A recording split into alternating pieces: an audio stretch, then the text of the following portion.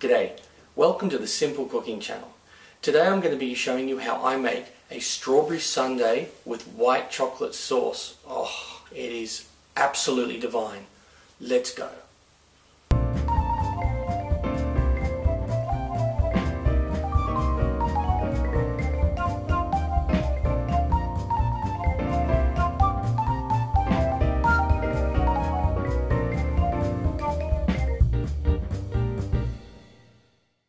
Now get a saucepan and over medium heat put in 250 mils of cream, pouring cream or thick cream.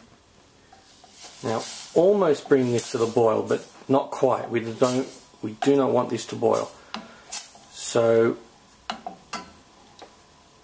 really the best way to tell is once there's lots of bubbles around the edges after you mix it like this and if there's bubbles right around the edges very quickly all the way around not like these few here it's ready. I gave it a stir and see the bubbles right around here like that straight away. Give another stir. See those bubbles appear like that little ones? Now it's ready. So turn the heat off. Now add very tiny amount, like about one quarter to one eighth of a teaspoon of vanilla extract and throw in 180 grams of white chocolate. And give that a stir. And just keep stirring and mixing this in until the chocolate becomes one with the cream. Alright, that's ready. Now pour this into a jug and put it in the fridge until it's chilled. Should only take about 30 minutes. Now while the white sauce is chilling in the fridge, get 150 grams of strawberries and chuck them in a blender and get two tablespoons of white or caster sugar. Put that straight in there. Put on the lid and turn this on and just blend it until it's a nice paste. Now get about another dozen strawberries and cut them up into thin pieces like that and just have a few ones that are also little chunks. Now get some sort of serving bowl and just put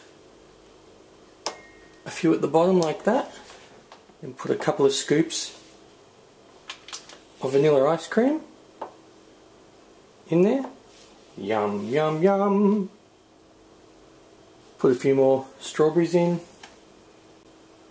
Maybe one more scoop of ice cream. And more strawberry. Now get that strawberry sauce that you made in the blender and just drizzle it sort of over it. Now get the white chocolate sauce that you put in a jug and have it chilling and just drizzle that however much you want. Straight over it. Oh my, this is so yummy. And then just repeat that process if you want more.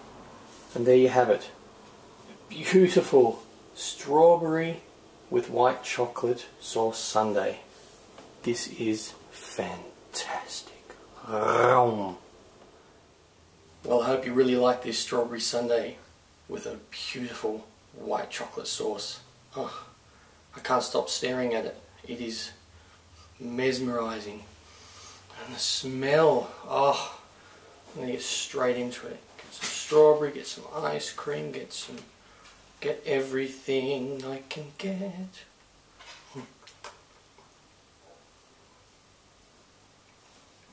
Oh! Oh, I want to fall over. Oh my, oh, that is so yum. Mm, mm, mm, mm. That is really good. That is so good. Really simple, looks quite impressive. And that is a pretty big bowl as well. I mean, this is going to serve at least four to six people. Oh, I'll see you next time for my next meal.